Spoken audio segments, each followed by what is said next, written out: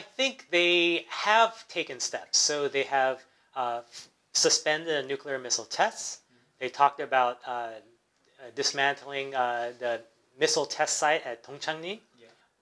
Because North Korea has talked about progressive and synchronous uh, process. So that means um, a phased process, but also a reciprocal process where the U.S. also provides concessions. And it looks like North Korea is thinking more than just the suspension of, of, of, military exercises, but things that would be steps towards a peace regime. So I think that's what North Korea is disappointed by. That again, steps towards a peace regime, right? Okay. And we don't know exactly what North Korea means by that, but we know that, for example, we've talked about the an end of war declaration. And in the, the statement from the foreign ministry, they also talked about end of war declaration, and it seemed that the U.S. didn't have anything interesting to offer on that.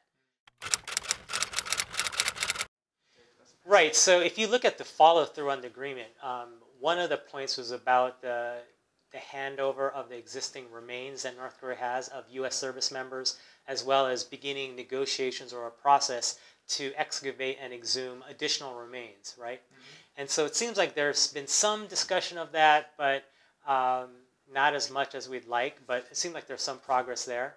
Um, but I think the first point that was made in the, in the Singapore Declaration was about working towards, jointly working towards a peace regime. And it looks like the U.S. didn't bring anything to offer on that. Mm. So um, we have to realize that there's uh, denuclearization steps that North Korea has to take, but the U.S. also has to take steps towards uh, uh working towards a peace regime. Mm -hmm. On the timeline, again, I think, um, again, North Korea has talked vaguely about a phased process. I don't know how long that will take, um, but certainly longer than two, three months. And then, of course, the U.S. side has talked about uh, having uh, an accelerator process where denuclearization steps happen pretty quickly. And I think, you know, I've heard you know, two to three years. So basically before the end of Trump's first term, right? So if, if we're thinking about that, then um, I think, you know, we'd want to see some major steps being taken from both sides uh, pretty quickly, um, and then uh, a, a significant part of the process ending within two years.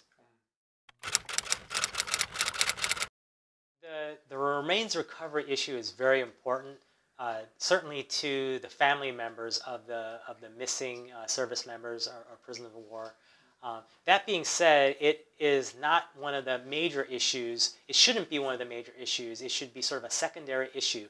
So it, it's important, and I think if North Korea follows through on handing over the, the sets of remains that it currently has and gets into negotiations to, to do more excavation, that's a great sign. It's positive signal, it's confidence building measure, but I think uh, it's, it's secondary to denuclearization and the peace regime, and that's where the focus should be on.